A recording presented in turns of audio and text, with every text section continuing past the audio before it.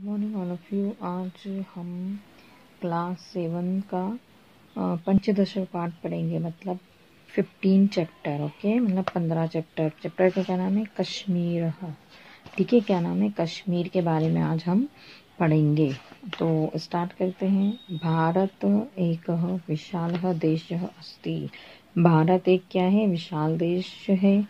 अत्र अनेक राज्य, संति, यहाँ पे कितने अनेक राज्य हैं। तेषु जम्मू कश्मीर एक राज्य अस्ति। उनमें से एक कौन सा राज्य है? जम्मू कश्मीर। ठीक है? तस्य कश्मीर क्षेत्रे जगति प्रसिद्ध अस्ति। उसमें से जो अपना जम्मू कश्मीर है, वह क्या है? संसार में बहुत प्रसिद्ध राज्य है। अयं स्वसौन्दर्येण न केवलं भारतीयानाम्, अपि तु विदेश विदेशीयानपि मोहयति। यह अपने सौंदर्य के कारण न केवल क्या भारतीयों को, बल्कि कहा विदेशों को भी क्या कर लेता है, मोह लेता है किसकी? कश्मीर की सुंदरता। अस्य राज्यस्य राजधानी श्रीनगरम अस्ति। इसकी राजधानी क्या है? श्रीनगर। किसकी? कश्मीर की राजधानी क्या है? श्रीनगर। अयम एक सुंदर नगर अस्ति। यह एक क्या है? सुंदर नगर है। अत्र वितस्ता नदी प्रवहती। यहाँ वितस्ता नदी बहती है। कि कौन सी? वितस्ता। ओके। नदी बहती है। तस्या उभयो तटियो अयम नगर तिष्ठन्ति। उसके दोनों तटों पर क्या है? यहाँ पे मतलब दोनों साइड पे क्या बसे हैं? नगर बसे हैं। ठीक है? हिम हिमात शाद, शादी तानी पर्व शिखराणी रवि किरणें सुवर्णमाई प्रतिभांति। यहाँ पे क्या होता है? बर्फ़ से जो ढकी हुई रहती है ना पर्वते तो बर्फ़ से ढकी हुई पर्वत को चोटियाँ सूर्य की किरणें है ना? सूर्य की किरणें में सोने की प्रतीत होती है। जब सूर्य की किरणें उस पर गिरती है, चोटियों पे जो बर्फ़ से ढकी हुई है तो कैसा प्रतीत होता है?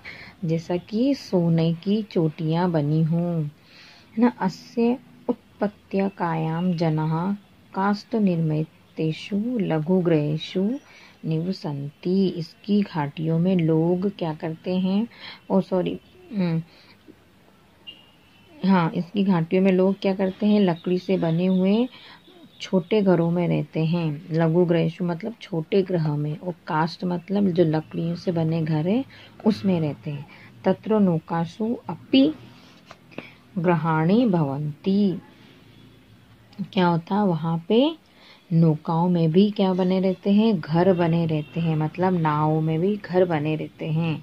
जनाहा नौका ग्रहम एवं हाउस बोट इति कथयंती लोग नौका ग्रह को ही क्या बोलते हैं? हाउस बोट कहते हैं, ओके? पर्यटना नौका ग्रहेशु निवसंती परम सुखम अनुभवती च। पर्यटक नौकाग्रहों में क्या करते हैं? रहते हैं और अत्यंत क्या करते हैं? सुख का अनुभव करते हैं। रात्रो नौका ग्रहेशु ज्वलंत दीप का नाम प्रतिबिंबानी नदी जले अपूर्वणाम शोभनाम आहवंती रात में क्या होता है नौका ग्रह रहता उसमें जलते हुए दीपक की छाया कहाँ पड़ती है? नदी जल में अपूर्व शोभा को धारण करती है। जब उसकी परछाई नदी में गिरती है तो बहुत ही सुंदर लगता है। रात्रो नौका नौकाग्रहेशु ज्वलंत दीपा का नाम प्रतिबिंबानी नदी जले अपूर्व नाम शोभा नाम क्या होता है? अवहंती। तो ये तो अपन ने पढ़ लिया कि पर्यटक नौका ग्रह में रहते हैं और अत्यंत सुख और रात में जो नौका ग्रहों में जलते हैं तो वो नदी में क्या होता है? उसकी शोभा जो होती है, गिरती है तो बहुत अच्छा लगता है। इन, है ना? अभी नौका ग्रह तस्या बहुत जना जीविका नाम अर्जंती इन नौका ग्रहों में के द्वारा वहाँ के लोग लोग, बहुत से लोग क्या करते हैं? जीविका को कमाते हैं। मतलब जो उनका कमाई का साधन रहता है, वो नौका से ही होता है। नौका चला के ही क्या होता है? उनका जीविका का साधन होता है। अत्र एक डल नाम नाम महाहद अस्ति। यहाँ एक डल नामक क्या है? बड़ी झील है। ठीक है? मतलब डल नाम की एक क्या है, झील है। अत्र विविध वर्णानि विक्स, विक, विकसितानि, कमलानि, स्वसौंदर्यण नाम चेतासी हरंती यहाँ अनेक रंगों के क्या खिले हुए कमल अपने सौंदर्य से लोगों के हृदय को क्या करते हैं, हरते हैं। उस जो डल झील रहती है, उसमें कई प्रकार के अलग अलग प्रकार के क्या खिलते हैं? कमल खिलते हैं जो कि लोगों को बहुत शोभा देते हैं। निशांत शालीमार नामक उद्यानम अस्तवे अस्व तटे वर्तते।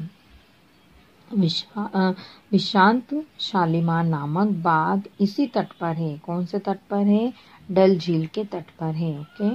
अन्यो उद्यानयो फलवंत पुष्प पुष्प पुष्पवनश्च वृक्षा जाना मनासी आकर्षयती इन उद्यानों के फल वाले और फूल वाले वृक्ष लोगों के मनों को क्या करते हैं? बहुत आकर्षित करते हैं।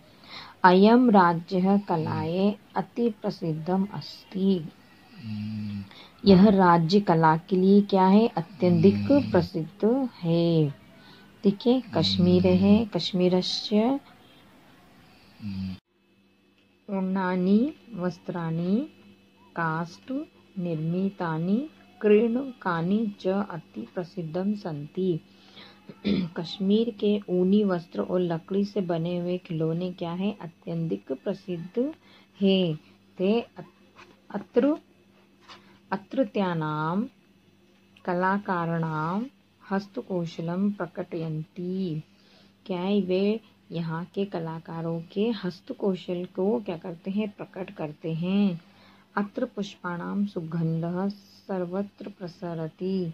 यहाँ फूलों की सुगंध सब जगह फैली है है ना? जो फूल खिलते हैं, उसकी सुगंध भी क्या? सभी जगह फैली रहती है। सर्वत्र सौंदर्य विराजते। यहाँ सब जगह क्या है? सुंदरता क्या है? विराजमान है। सुंदरता ही सुंदरता है। कहाँ? कश्मीर में। कश्मीर कस्य मन न हरंती कश्मीर किसके मन को नहीं हरता है? किसके मन को कश्मीर अच्छा नहीं लगता है? सभी को क्या लगता है? बहुत अच्छा लगता है कश्मीर, है ना? सत्यम उक्ता मतलब सत्य ही कहा गया है। कि कश्मीर पृथ्वी या स्वर्ग अस्ति क्या? कि कश्मीर पृथ्वी का क्या है? स्वर्ग है, धरती का स्वर्ग है। किसको माना गया है? कश्मीर को धरती का स्वर्ग माना गया है। ओके बच्चों तो ये चैप्टर अपना होता यहीं एंड। सभी को फोर्टीन चैप्टर का कॉपियाँ कंप्लीट करना है। होमवर्क कॉपी भी कंप्लीट करना है। फेयर कॉपी भी कंप्लीट करना है। डे टू डे और डेट ज़रूर डालनी है। अब हम नेक्स्ट वीडियो में इसकी एक्सरसाइज के साथ मिलेंगे। ओके बच्चों, जब तक के लिए बाय बाय टेक केयर